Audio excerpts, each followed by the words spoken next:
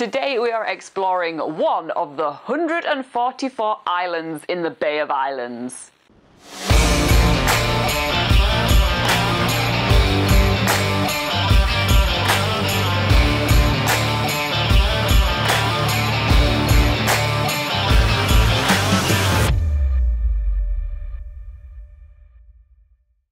in Pipi Patch very early morning because we're making our way to Puka Puka Ura puka puka. Puka Puka Island, which is a bird paradise. And we And a beach paradise. and a beach paradise, and an island paradise, and a blue code paradise, Probably. Uh, and a Robin and Laura paradise. As we walk from our accommodation at the base backpackers towards the Explore office, we get to see an amazing sunrise across the beaches of Paihia. Once we pick up our tickets, we are heading to the Paihia Wharf.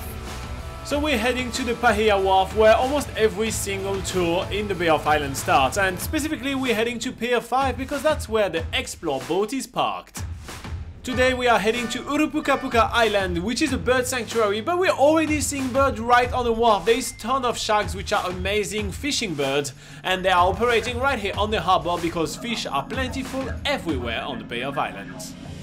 As we are leaving the harbour of Paihia, we are exploring a little bit the Explore boat. There is ton of viewing platform all around the boat giving us prime views of the Bay of Islands. It's an awesome ship.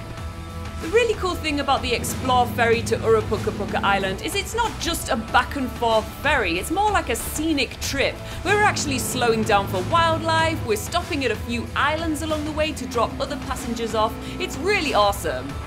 The trip between Paihia Wharf and the wharf on Urupukapuka Island takes around 40 minutes, which gives us plenty of time to take loads of photos, check out the amazing island scenery around us, and there's 144 islands in the Bay of Islands, so there's actually a lot to check out. And then we eventually arrive at the bay where we're going to get dropped off, which is Otehei Bay. Otehei Bay has a super long jetty leading to an archway with Maori carvings and paintings on it, welcoming us onto the island. And already it feels like we're stepping onto an island paradise with long white sand beaches on either side of the jetty. There is actually a lot that you can do on Urupukapuka Island. They have a cafe, even with a bar with a license. You can also hang out by the beach and obviously there is heaps of walk. And you guys know us by now, we make sure to hit the walking trails. Almost instantly we hit a massive Pohutukawa trees. This is a gigantic tree and the Pohutukawa is actually the New Zealand's Christmas tree because it blossoms around Christmas time. But the main attraction at this time of the year are all the native birds. We see heaps of tuis hanging out on the massive tree. The main walk around Urupukapuka Island is about 5 hours long, but today we don't really have time for that, so we are just checking out the main highlight. We're checking out one of the highest points of the island, we're also going to be checking out one of the most pristine beach, and obviously we're going to hang out in the native bush to check out the awesome wildlife. And speaking of wildlife, it really doesn't take us long to spot some native bird. After checking out a North Island robin, we are seeing a ton of tui birds. Yes, that's the same bird that you saw in the big Pohutukawa trees. They're really fun bird with some really iconic calling calls. If you hear a robot in the forest, usually that's it. But shortly after that, we check out the elusive silver eye. Already we've spotted the next beach that we want to check out, which is Otiao Bay, and it's a bit of a steep downhill to get there through the awesome Kanuka and Manuka trees, and they are so filled with loads of birds, so we take a lot of time to check all those birds out. Sure enough, we make it down to the beach where it's covered in different seashells, white sand, and it seems like the perfect place to have a picnic. From Otiao Bay, there's actually a lot more walks to explore. For instance, you can go up to Akeake Peninsula, which has more awesome views. There's also some old pa sites, which are basically where Maori villages used to be based. But because we want to catch the 2.30 ferry back to Paihia, because we want to get back to our hostel and update Backpacker Guide for you guys, it's not going to update itself, we decide to return back along the track the way we came.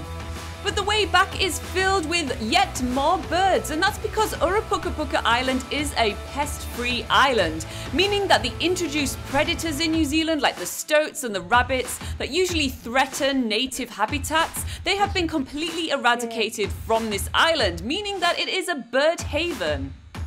Because this island is a pest-free island also, we get to see a lot of birds that otherwise we wouldn't get to see on the mainland of New Zealand in the Northland region, which is the region we're currently in now. For instance, the whiteheads right here, this is rarely seen in New Zealand, so we feel super, super lucky to be watching them right now. You'll also notice that quite a few birds on Urapuka Island have these colourful little bands around their legs, and that's to help the conservationists identify different birds, also to see where they come from, and that just helps with the whole conservation effort and boosting the population of these rare native birds.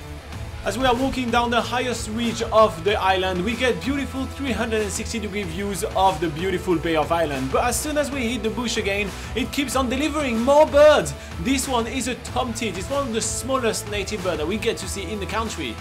This walk in itself is actually a super easy walk to do. If you have a really low level of fitness, you will still enjoy that walk despite the fact that it's a steep incline. The path is actually quite wide, very well marked, and you get plenty of time to actually do it. So it's definitely a hike worth considering when traveling the Bay of Islands.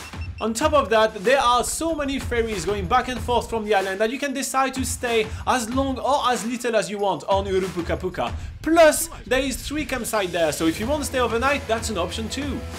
But there is no island life that actually is complete without an ice cream, so while we're waiting for our next ferry, we take the time to eat an awesome cornetto while watching some oyster catchers. Oyster catchers are very common on New Zealand beaches. They're actually super territorial birds that are usually only found in pairs. But that's enough about birds for one day. We are now ready to head back onto our boat and make our way back toward the little township of Paihia. As we are boarding the boat, we are finding ourselves a nice seat sheltered inside because the wind is going to be really cold and we are taking the time to compare all the pictures that we've been taking today. Honestly, we took so many beautiful bird shots today that it actually is going to be so helpful for us to update Backpacker Guide NZ. I don't think there is a single tour in New Zealand that we've taken more pictures of bird. It was absolutely brilliant and we kept some memory forever as we're heading back toward our Pipi Patch hostel. What's the name of this island? Urapuka What's the name of this island? Urapuka What's the name of this island? Urapuka If you stay three times, they come and bite you in the dark. They come and bite you.